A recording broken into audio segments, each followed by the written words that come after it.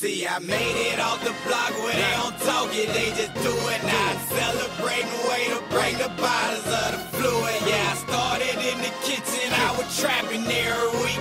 And I wasn't worried about the niggas who Motherfucking wax wizard, nigga.